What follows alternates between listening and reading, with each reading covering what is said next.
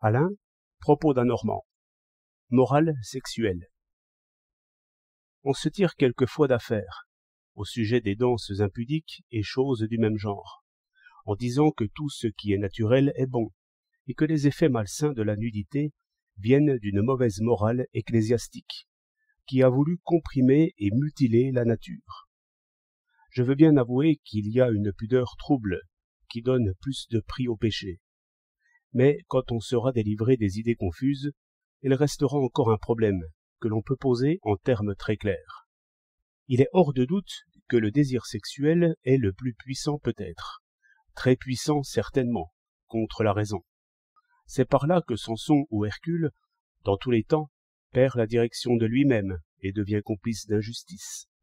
Peu de ministres sont capables de résister aux prières d'une belle femme. Et l'amour-passion est, comme on sait, une étrange folie qui explique la plupart des injustices, et peut-être les explique toutes. Pourquoi tout ce luxe, sinon pour une femme longtemps désirée et poursuivie? Le luxe est sans fin et sans mesure dès qu'il s'agit, non plus d'en jouir, mais de l'offrir à une divinité de l'opéra, comme une espèce de sacrifice. De là des désordres dans la production des biens, de là une humiliation de l'homme supérieur, humiliation pire que tous les désordres, car il renonce alors à lui-même et exile ses plus nobles volontés. Par ce côté, la chasteté, j'entends la puissance de la raison sur les désirs, est liée étroitement à la justice. Encore autrement, et peut-être plus étroitement. L'abus des plaisirs de la chair multiplie les désirs et produit enfin, comme l'ivresse, une sorte de paresse et de somnolence. Aux yeux du médecin, le souteneur n'est autre chose qu'un homme qui abuse des plaisirs de l'amour, ce qui le jette dans une paresse invincible. Le même effet se remarque chez ceux qui pensent trop au corps de la femme. Seulement, s'ils sont magistrats, administrateurs, ministres ou législateurs, ils ne sont pas condamnés pour cela à vivre de ressources inavouables. Ils font tout de même leur métier. Ils délibèrent, ils discutent, ils signent, mais sans courage. Ils touchent à tout et ne saisissent rien. Leur intelligence a encore de l'adresse, de la grâce, une vivacité par éclair, mais elle est sans force.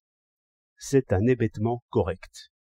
Nous les choisissons bien, mais par les gens qu'ils voient, par les récréations qu'ils se donnent, par ce mélange d'art et de débauche qui prétend les éveiller, les affiner, les cultiver, ils deviennent gâteux à l'intérieur. De là tant de travaux stériles, tant de projets, tant de programmes, et cette sagesse sans ressort qui renvoie tout au lendemain. Les civilisations brillantes risquent de périr par la volupté. Que la musique, les danses, la peinture, la sculpture, la poésie embellissent la chose, cela n'atteignit pas le mal. Le poison n'en est que plus doux à prendre. C'est pourquoi nous ne devons pas nous fier trop ingénument à la nature. Tout est naturel. Si vous avez trop bu, il est naturel que vous marchiez de travers.